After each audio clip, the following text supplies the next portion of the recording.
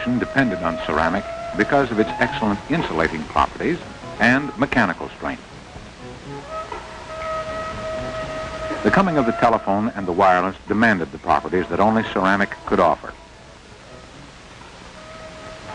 As these developed into our complex electronic industry, it was only natural that ceramics would find increasing wider application.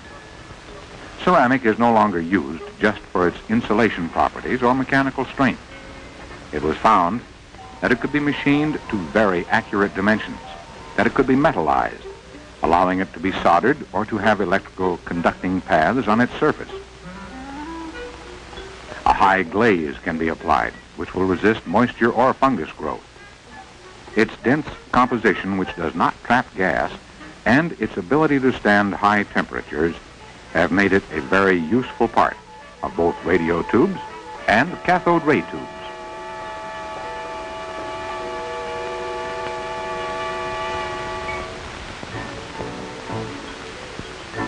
Tektronix Incorporated of Portland, Oregon, early in their history found that ceramic offered an excellent method of mounting delicate electronic components. A strip of glazed ceramic with silvered nuts. Parts could be soldered directly to the ceramic. Patents were obtained on both the design and the manufacturing methods.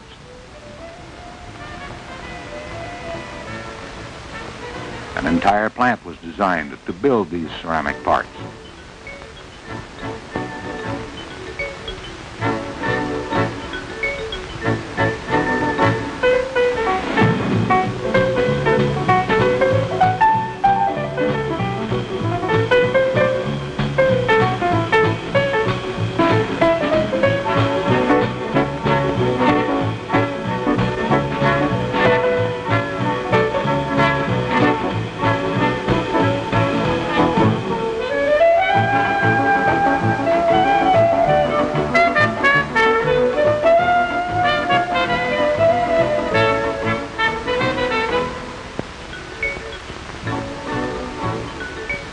Millions of strips, such as these, are used each year in the manufacturing of cathode ray oscilloscopes.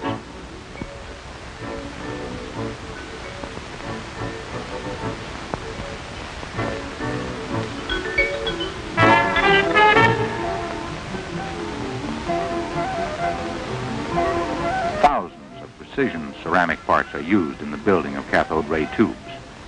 Insulating parts to support the cathode and heater wires rods to assure accurate alignment, supports and shields, delicate parts that must be machined to tolerances of a fraction of a thousandth of an inch, and must maintain such accuracy even when heated to red heat in the evacuation process.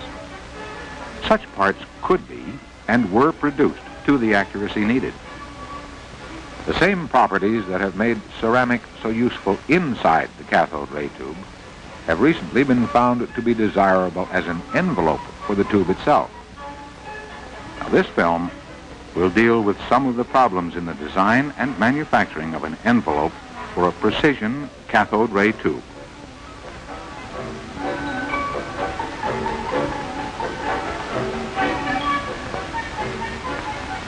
The basic elements of a cathode ray tube are, first, a device called a gun, which generates a sharply focused beam of electrons. Deflection plates, which move this beam when suitable voltages are applied. A screen of fluorescent material that gives off light when struck by the electron beam. All in a highly evacuated container called an envelope. Modern tube design usually calls for one or more extra electrodes or bands in the tube between the gun and the screen. These are called post-accelerating electrodes as they speed up or slow down the electron beam after it has left the gun and before it strikes the screen. The shape and position of such bands is very important if we are to get a display with the least amount of distortion. The usual way of producing such bands is to apply conductive material to the inside walls of a glass envelope. Connections to such bands are made by sealing metal rods or buttons through the glass. Unfortunately, it is difficult to get accurate control of the wall thickness. Often there is distortion of the electric field near the buttons or leads sealed through the glass. In the design of newer tubes, and especially of storage types of cathode ray tubes, there was an increasing amount of problems. More leads had to be brought through the envelope walls. Multiple connections directly to conductive layers on the screen. Compact oscilloscopes demanded tubes of smaller physical size, yet with a full-size screen display. Instruments of higher precision needed tubes with less distortion of the trace. All of these demanded accurate, stable, internal dimensions of the envelope. Higher strength, freedom from strains, no discontinuities in the area of the feed-through connectors, flat face plates with no rounded corners. These were some of the problems. A ceramic envelope for the cathode ray tube seemed to offer a solution to many of them. Let's watch a ceramic cathode ray tube being made.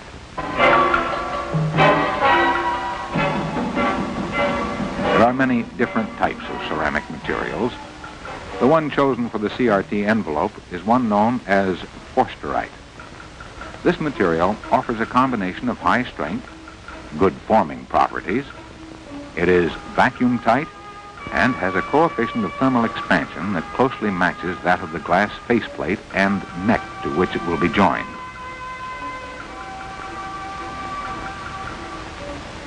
The first step in the preparation of the forsteritic material is the weighing out of the basic raw materials. Suitable organic binders and lubricants, which aid in the forming operations, are also added. In this case, a batch is 800 pounds.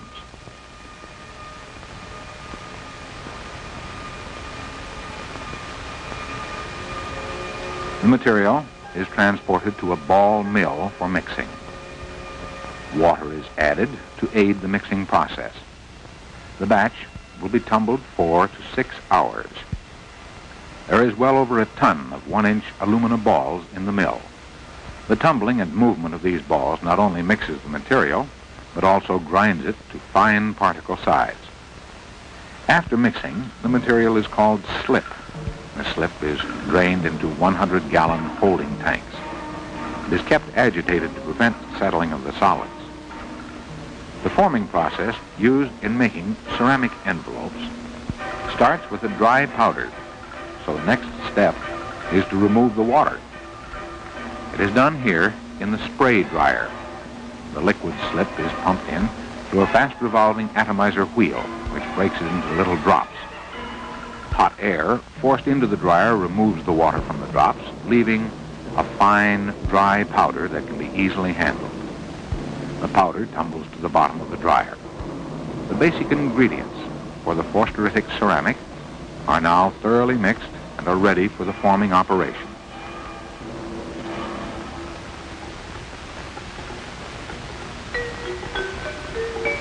A major advantage of ceramic as a CRT envelope is that the internal shape and dimensions can be more accurately controlled.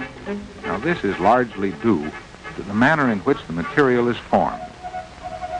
Unlike glass, which is normally formed by forcing the molten material inside a solid mold, the ceramic material in powder form is pressed around a solid mandrel. The inside surface then takes on the exact form of the mandrel. There are three things necessary to form the forsterite powder into the desired shape a hydraulic chamber, a solid mandrel, and a flexible boot to force the material against the mandrel. The mandrel is made from polished metal. It must be solid so that it will not distort or give under pressure. The sock or boot is made of elastic material. Its purpose is to hold the forsterite powder and force it against the solid mandrel when hydraulic pressure is applied. A trademark or other detail may be molded into the boot. Such detail, in turn, will be transferred to the outside of the finished ceramic.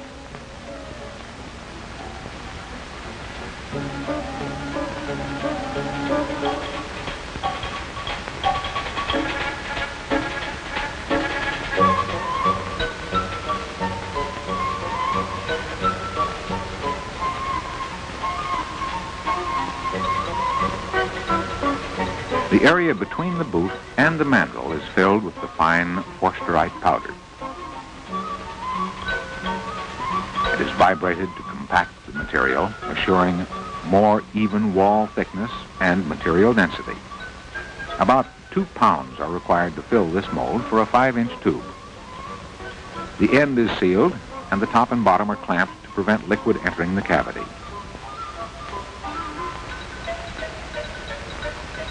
It is washed to remove excess material on the outside.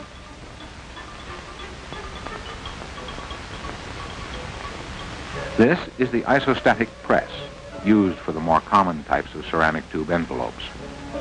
It is entirely automatic in operation. Two envelopes are pressed at a time. The walls are made of steel of the same quality used in the chamber of a large gun. A tightly fitting screw lid will stand the high pressures needed. Hydraulic pumps pressurize oil.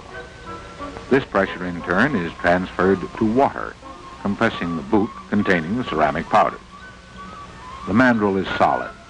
Oil and water cannot be compressed, so the full pressure of 13,000 pounds per square inch is applied to the powder.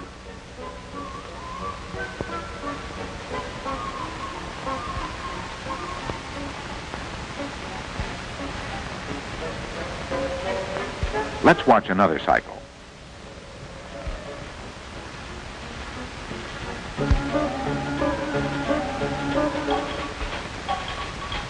The boot is filled.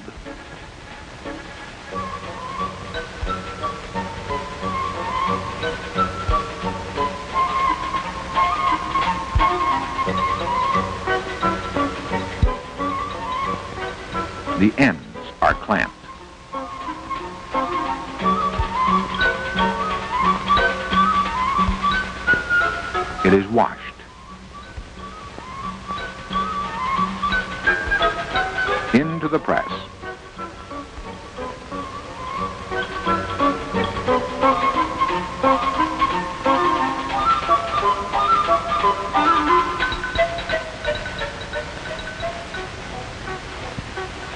Over six tons of pressure on the powder.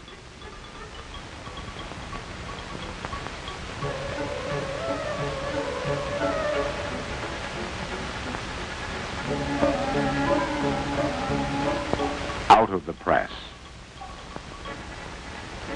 It is no longer powder, but a solid piece, the exact shape of the mandrel. The CRT envelope has taken shape. Smooth sides of the mandrel have been accurately reproduced. The trademark has been transferred from the boot. At this stage, the unfired ceramic is known as greenware.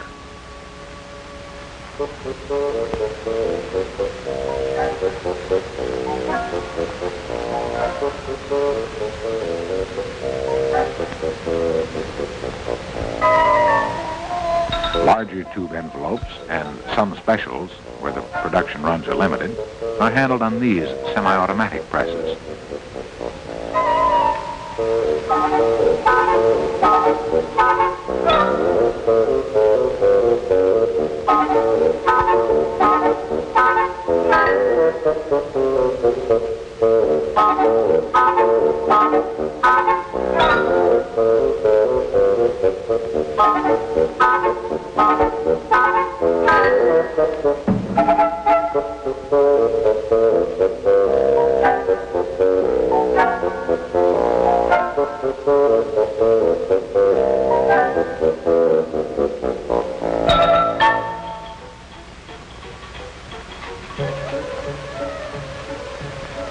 Holes are needed to get electrical connections to the inside walls. The material is abrasive, so a carbide drill is used. At this, the greenware stage, the material is easy to work or machine. Later, after firing, it will be very hard and can only be cut or drilled with diamond tools.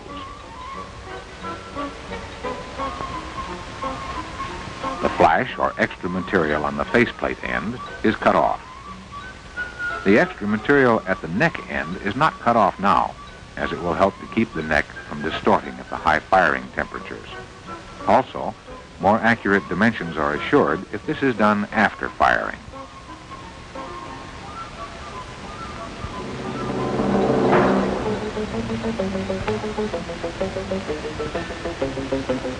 The greenware funnels are ready for the first of three firings.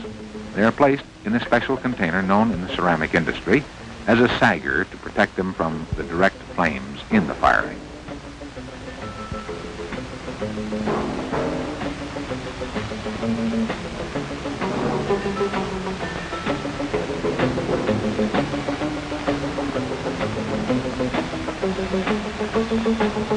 The ceramic envelopes are fired in specially built furnaces called kilns. This kiln is about 70 feet long. It is heated with natural gas. Parts take 16 hours to move through the kiln. In the initial stages, the binders and lubricants are burned out. The kiln is automatically controlled. The instruments check the temperature, record it, and adjust the gas if necessary to maintain a constant temperature. In the center of the kiln, the envelopes reach a temperature of approximately 1200 degrees C over 2200 degrees F. This is where the raw materials actually turn into a forsteritic ceramic. Shrinkage takes place as chemical reactions occur, changing the original powders into vitrified or fused ceramic.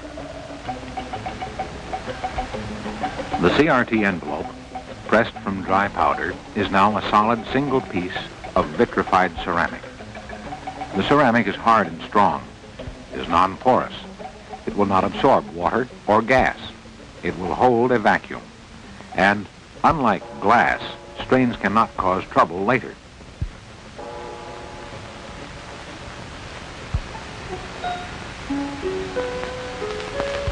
The next step is to cut off the neck section. The ceramic is extremely hard now and can only be worked with diamond tools. This saw is made of soft copper embedded with diamond dust. Water serves as a lubricant.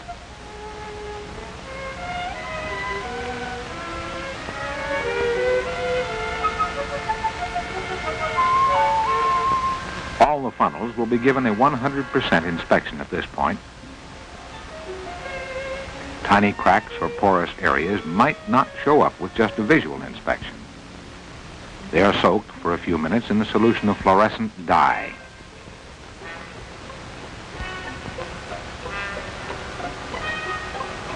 Washing removes the dye from the smooth, unbroken surfaces. But any crack or imperfection will retain it. An inspection under ultraviolet light will show the trapped dye.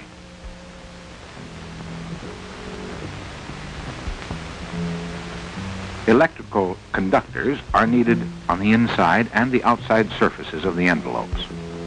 In addition, electrical connections must be made through the walls so that vacuum-tight seals can be made later without interrupting the electrical path. We first apply the outer conductive paths. Silver is a satisfactory material. It is applied in the form of a paste or paint. Metal particles in an organic binder. The binder will be burned away later, leaving pure silver. The metal must continue through the holes to make contact with the inside conductive bands.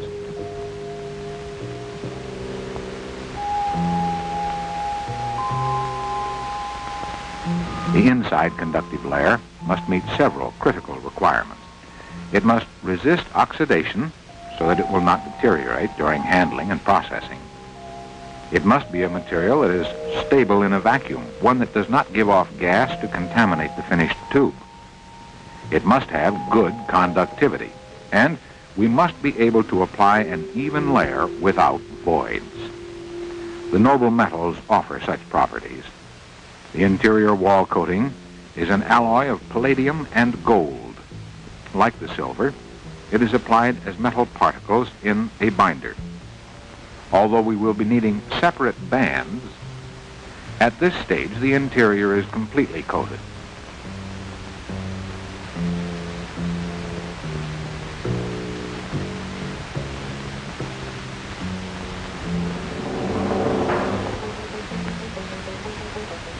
The envelope will be fired once again to convert this coating to metal.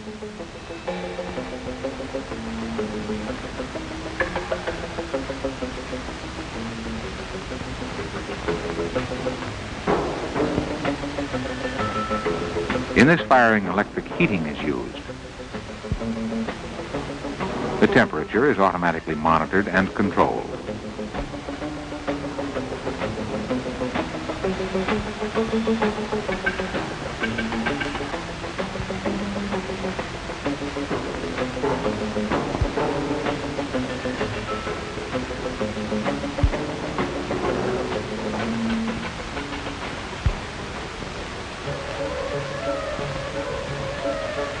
is time now to separate the inside metal coating into separate individual bands.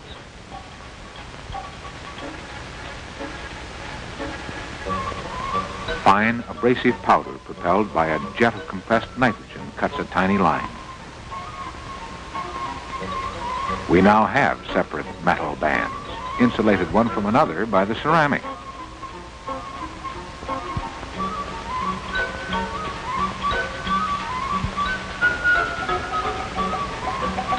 We need a smooth, flat surface on both the neck and the screen end in order that we can attach the glass. Both ends are lapped with abrasive material to get the necessary finish. A final wash removes the lapping compound that has been picked up in handling.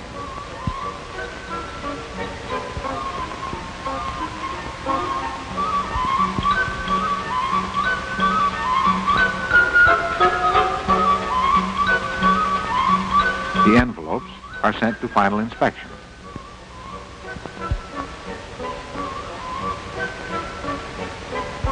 In this operation, the physical and electrical properties are checked once again.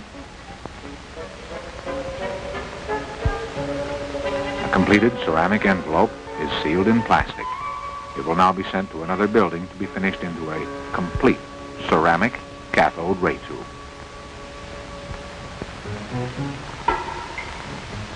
This is the Electron Devices, or CRT building.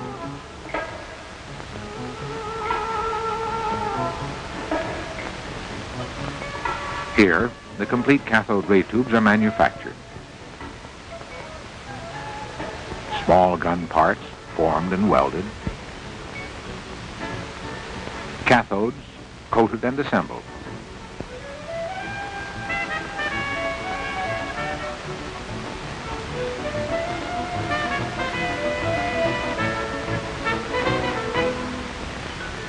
The complete electron gun assembled.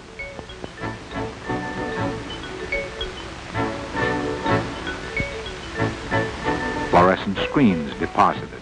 Careful work, exacting work.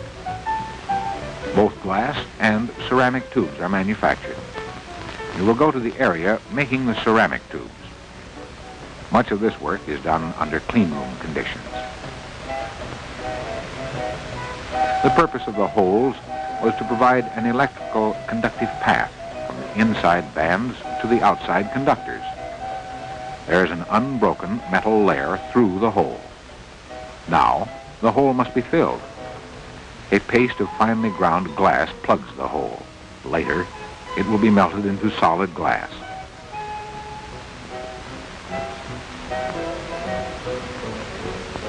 Glass must be fused to the ceramic to make a one-piece structure that is mechanically strong and vacuum tight.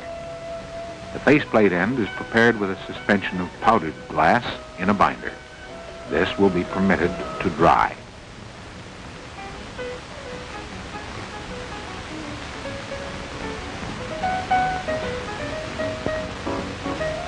The binder is sticky and tends to hold the glass to the ceramic. There will not be a good mechanical bond until they are fused together at high temperature.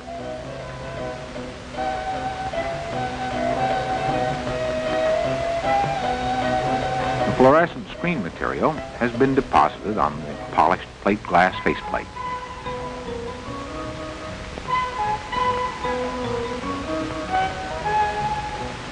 An additional bead of powdered glass will assure a proper bond to the ceramic.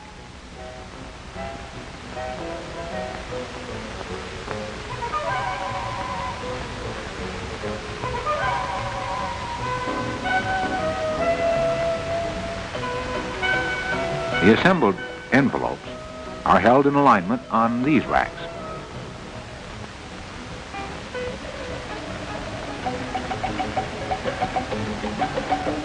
One final step now in the manufacturing of a solid one-piece ceramic glass CRT envelope. The units will be brought to a temperature high enough to melt the glass powder, fusing the faceplate and neck to the ceramic and burning away the binders.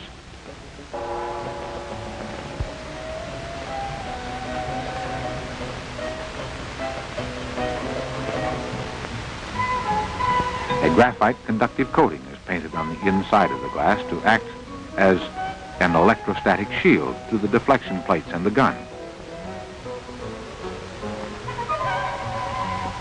A final continuity check assures that nothing has shorted out the various internal bands.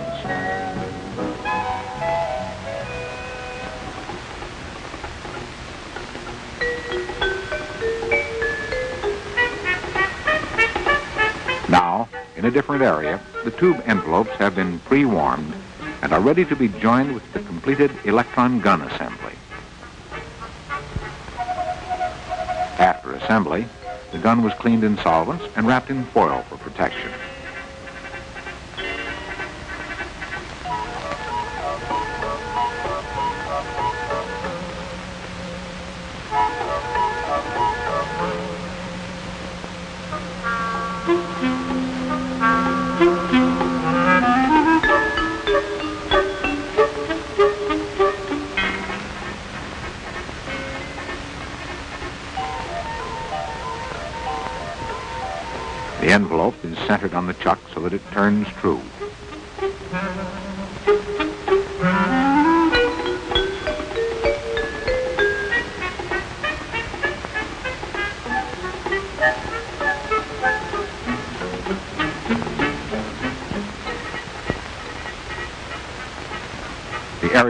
Seal is heated.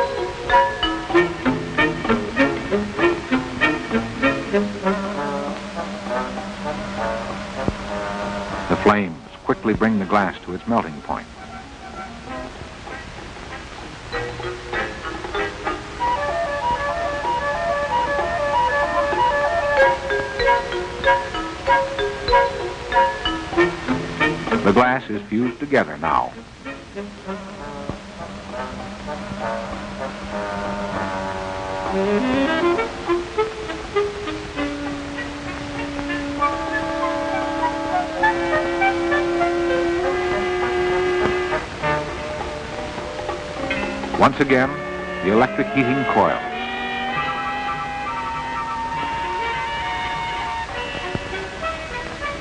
The glass is cooled slowly to anneal it and relieve stress.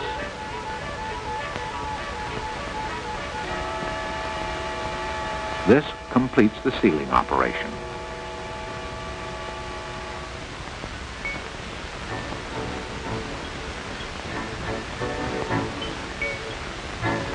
To prevent moisture entering the tube, the air is removed with a vacuum pump. It is filled with dry nitrogen and capped with a plastic cap.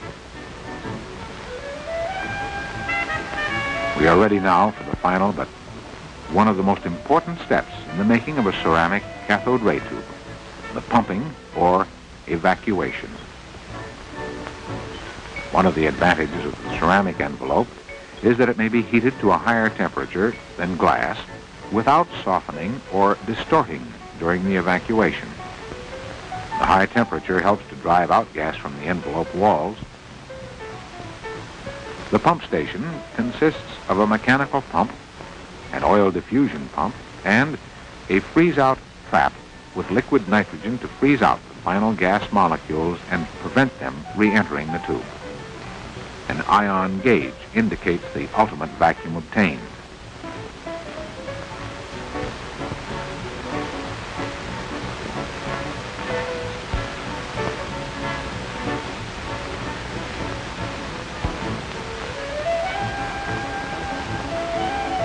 The tube is complete now. The glass stem has been sealed off so it can be removed from the pump. The only steps remaining are to put the tube base on activate the cathode, and carefully check the tube to assure that it meets all specifications. And the final step, of course, installing the ceramic tube in the oscilloscope. This completes our story, a combination of the old and the new. Ceramics, one of man's first industries brought up to date to provide a part for our latest industry, electronics. A precision cathode ray tube of higher performance, tighter specifications, improved accuracy, and extended life made possible through the use of ceramics. A tube which we are proud to have carry the name Tektronix.